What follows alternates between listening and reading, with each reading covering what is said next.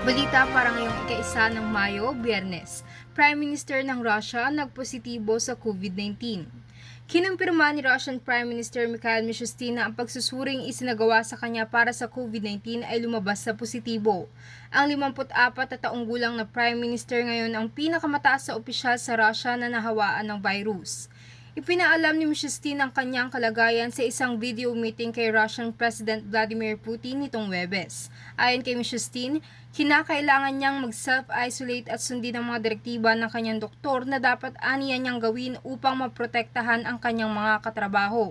Hindi naman na nagbigay ng ibang detalye ang Prime Minister ukol sa kanyang kondisyon o kung may nararanasan ba siyang sintomas ng COVID-19.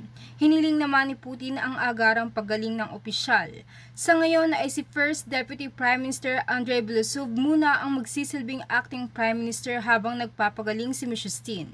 Ako si Joanna Deala para sa Philippine Canadian Inquirer.